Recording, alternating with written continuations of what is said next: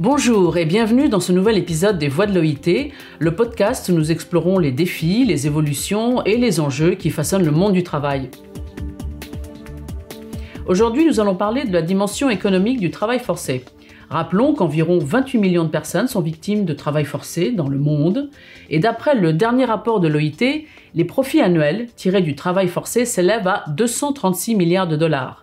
C'est une hausse de 37%, par rapport à 2014, une hausse spectaculaire alimentée à la fois par une augmentation du nombre de personnes victimes du travail forcé et par des profits plus élevés générés par l'exploitation de ces victimes. Le rapport souligne également que l'exploitation sexuelle commerciale forcée représente plus des deux tiers, 73% de ces profits illégaux, suivis de l'industrie, des services, de l'agriculture et finalement du travail domestique. Un constat donc très alarmant. Pour parler aujourd'hui de ce sujet, nous avons deux invités.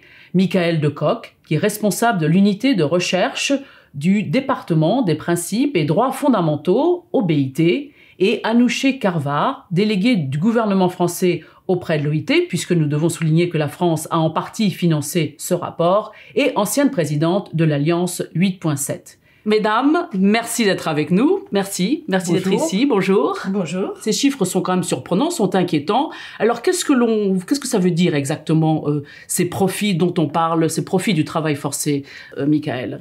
Alors vous l'avez bien mentionné dans votre introduction, il y a toujours un nombre alarmant de personnes en travail forcé, c'est-à-dire de personnes qui travaillent sous une menace, qui n'ont pas choisi ce travail et qui ne peuvent pas le quitter, qui ne peuvent pas dire non à ce qu'il est imposé parce qu'une menace quelconque, ça peut être, ça peut être une menace physique, une menace sur la famille, euh, tout type de menace leur est imposé et leur empêche de refuser cela. C'est ce dont on parle quand on parle de travail forcé.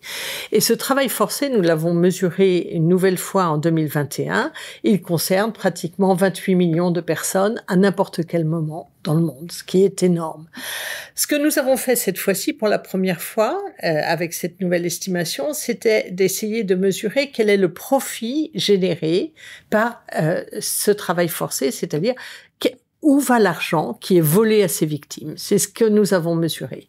Alors, dans, euh, dans le travail forcé, on distingue plusieurs forces forme. Ici, on s'est intéressé uniquement dans le travail forcé imposé par des privés, c'est-à-dire qu'on a laissé de côté les 4 millions de victimes qui sont des victimes euh, de travail forcé imposé par les États. Peut-être plus tard, on fera une nouvelle estimation. Là, c'est que l'économie privée. C'est que l'économie privée. Et dans cette économie privée, on distingue le travail forcé qui a lieu dans les formes classiques, on va dire, du travail, euh, que ce soit dans l'industrie, dans l'agriculture, dans la pêche, euh, dans les services, du travail forcé euh, dans la prostitution forcée et toutes les formes d'exploitation sexuelle euh, imposées euh, essentiellement à des femmes, mais aussi des enfants et des, des, jeunes hommes et des jeunes femmes.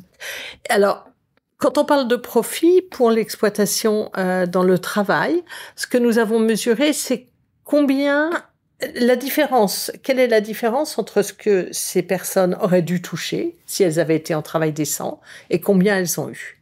Et euh, donc cet écart euh, qui est euh, qui est mesuré, eh bien c'est ce qui est volé aux victimes. Et puis pour l'exploitation sexuelle, il n'y a pas de combien elles auraient dû toucher. Donc, ce qu'on a mesuré, c'est combien touchent ceux qui les exploitent, les proxénètes, tous, le, tous les gens qui exploitent ces personnes en prostitution forcée, euh, moins, donc quel est le profit qu'ils font, moins la toute petite partie qui va aux victimes.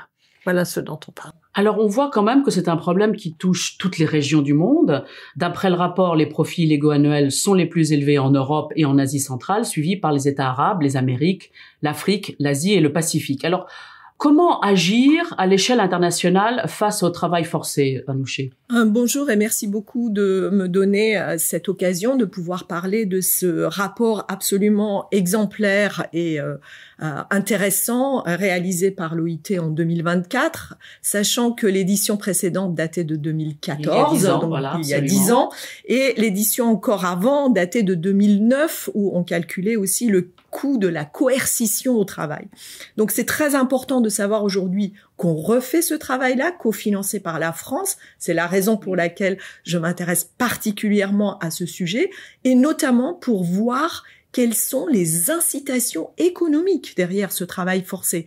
Parce que, permettez-moi de dire, ce n'est pas seulement une question éthique, c'est aussi une question économique.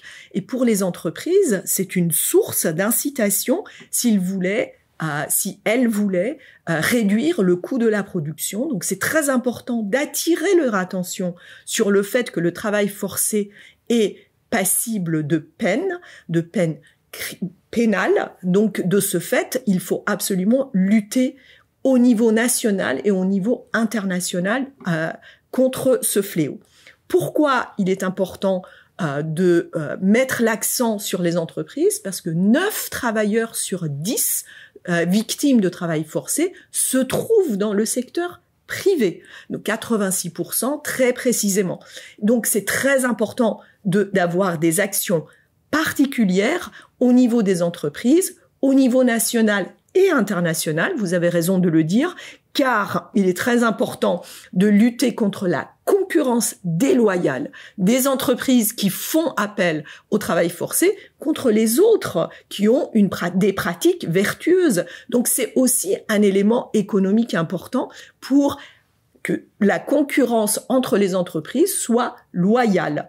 Alors, ce n'est pas seulement la responsabilité des entreprises et c'est aussi la responsabilité des États, car les États ont un rôle important à jouer pour l'identification du travail forcé, donc l'inspection du travail, les institutions du marché du travail sont très importantes pour promouvoir le dialogue social, car dans les entreprises où il y a des organisations syndicales qui sont des vigies des relations euh, au travail. C'est un élément important. La promotion du recrutement euh, responsable dans les entreprises, c'est aussi du rôle euh, des États. Enfin, la question là, après l'identification, la question de la punition, de la poursuite pénale est un élément important pour donner un signal de la part des États vers les entreprises ce sont des actes illégaux qui sont passibles de peine. Et absolument. D'ailleurs, c'est ce qu'on disait au début. Donc, ce sont pas seuls, c'est un argent qui un peu disparaît du système et non seulement ce qui euh, qui est un problème pour les victimes du travail forcé, mais qui est un problème aussi pour le système économique et pour les autres entreprises. Absolument. Et le pour les États aussi. Pour les États. Alors c'est d'abord les victimes. Ce sont d'abord les victimes. ce sont d'abord elles qui. Et ça gangrène un peu tout le système. Absolument. Et le chiffre que nous présentons dans ce rapport est conservatif parce que c'est uniquement la partie des salaires, on pourrait dire, ou des revenus volés aux victimes. On n'a pas dans ce rapport-là estimé quelle est la partie, par exemple, des taxes non payées, des charges sociales non payées. Euh, tout ça est vient en plus euh, dans les dans les profits. Euh, J'aimerais revenir sur le point très important euh, soulevé par Anouché sur la migration. Quand vous avez parlé du recrutement et des frais de migration, euh, vous vous souvenez peut-être euh, dans ce rapport sur le travail forcé, nous avions réussi à mesurer que les situations, les personnes en situation de migration internationale pour le travail étaient trois fois plus à risque d'être au travail forcé que euh, les gens qui résident dans le pays. C'est énorme, trois fois plus. Ici, dans ce rapport, nous avons mesuré pour ces migrants internationaux euh, un autre chiffre qui est combien de nouveau est volé à ces personnes-là euh, par des frais de recrutement abusif. Euh, vous le savez, l'OIT recommande que les personnes ne paient pour être recrutées. Or, nous avons pu mesurer, euh, euh, grâce à toutes les données collectées, qu'il reste encore une énorme partie de frais fictifs parfois imposés aux migrants pour aller travailler. Et donc ça fait partie des, des profits euh, qui sont euh, de nouveau euh, vont dans la poche de la personne qui les exploite au détriment des, des, travailleurs. Alors justement, donc le rapport souligne qu'il n'est pas possible de mettre fin au travail forcé uniquement par euh, des mesures d'application de la loi et que ces mesures doivent s'inscrire dans un cadre d'une approche globale puisque le, le, problème est, est, tellement grand et, et donc dans ce qu'on disait avant dans toutes les euh, régions. Alors euh, que faudrait-il faire? Quelles sont les mesures qu'il faut prendre en particulier, surtout au niveau des gouvernements? Anouché. Oui, merci de me donner l'occasion de bien préciser que pour agir sur le travail forcé, il faut aussi agir sur les causes profondes du travail forcé. Les causes profondes du travail forcé sont la pauvreté, l'informalité euh, du travail, l'absence de protection sociale pour les personnes qui euh, n'ont le travail forcé comme seul moyen de subvenir à leurs besoins et aux besoins de leur famille.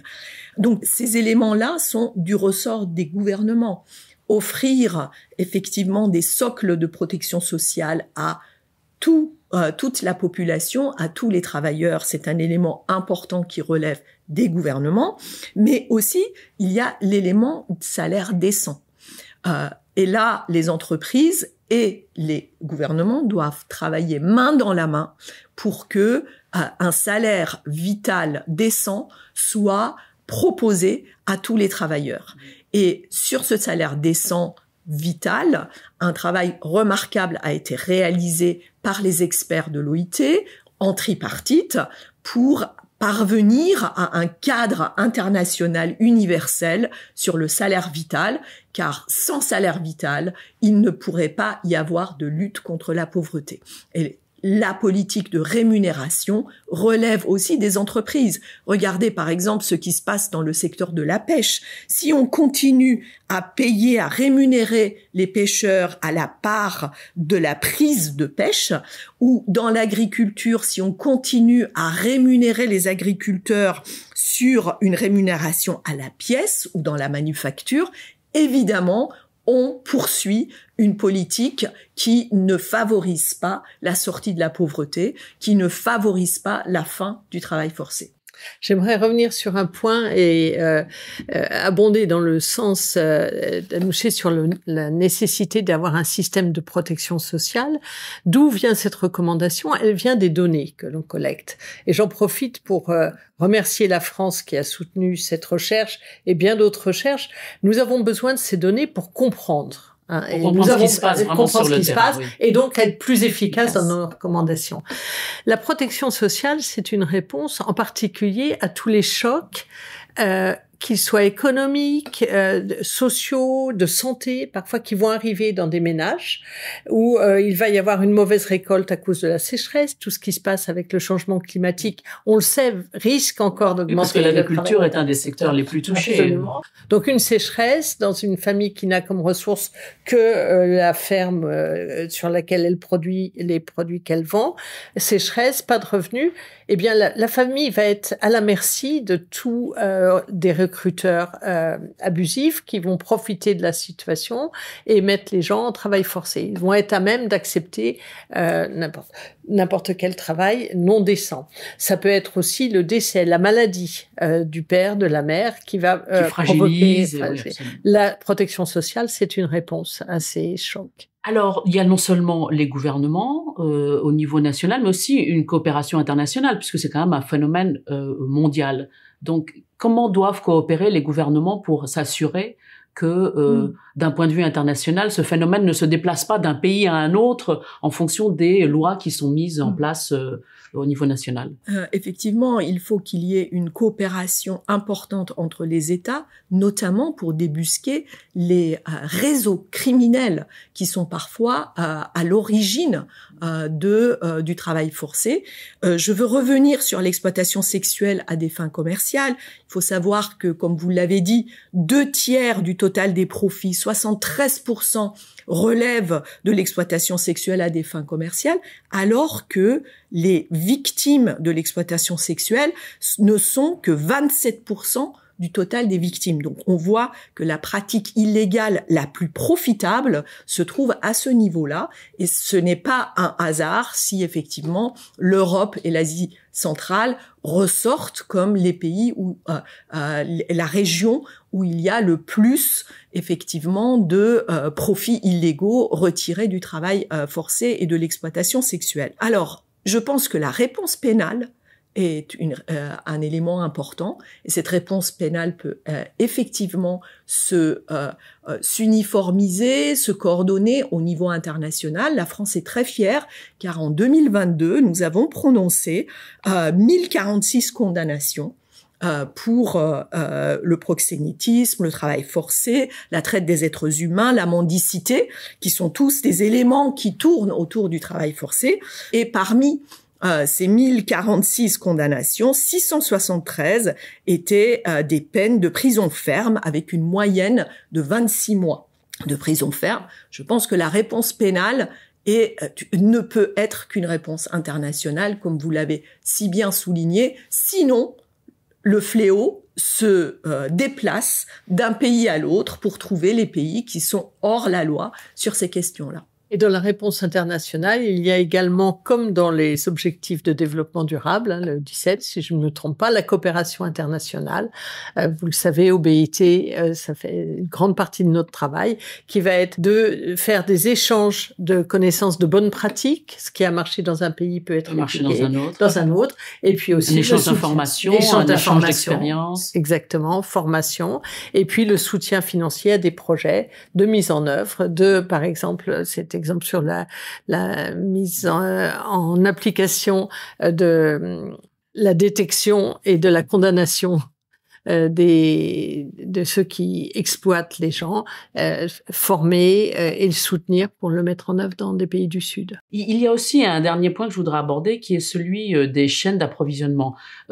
comment faire justement pour lutter contre le travail forcé? Dans les chaînes d'approvisionnement et être sûr que ce, ce fléau euh, est véritablement euh, combattu à ce niveau-là. Évidemment, euh, beaucoup de nos entreprises multinationales au niveau des pays du Nord vont vous dire qu'elles ne connaissent pas très bien la réalité du travail forcé dans leur chaîne d'approvisionnement mondiale, euh, au niveau des filiales, des sous-traitants, parfois éloignés géographiquement. C'est tout le rôle euh, des principes euh, de l'ONU euh, sur euh, les droits de l'homme et euh, les entreprises, mais aussi les lois de devoir de vigilance qui sont prises au niveau national et maintenant au niveau européen et international pour que les entreprises parviennent à débusquer le travail forcé tout le long de leur chaîne d'approvisionnement. Et cela nécessite la mise en place d'une co-responsabilité entre les pays du Sud et les pays du Nord, d'où l'importance de ces plateformes, de ces coalitions internationales dont l'Alliance 8.7 est un exemple euh, très euh, parlant, c'est-à-dire que nous réunissons euh, au, au, titre du partenariat mondial tous les acteurs concernés, toutes les parties prenantes dans une démarche effectivement de collaboration tout le long des chaînes d'approvisionnement, mais aussi dans chaque pays pour mettre toutes les parties du gouvernement, tous les ministères concernés autour de la table pour une stratégie globale mais aussi nationale et locale. C'est-à-dire, on ne peut pas avoir une stratégie globale s'il n'y a pas de mise en œuvre au niveau local dans les pays. Merci beaucoup pour cet aperçu. Aujourd'hui, nous avons parlé de la dimension économique du travail forcé avec Michael Decoq, qui est responsable de l'unité de recherche du département des principes et des droits fondamentaux du BIT, et Anouché Carver, délégué du gouvernement français auprès de l'OIT. C'est la fin de notre podcast. Dans les semaines à venir, nous continuerons à parler des changements qui bouleversent le monde du travail. Pour l'instant, nous vous disons au revoir et à très bientôt pour un autre épisode des Voix de l'OIT.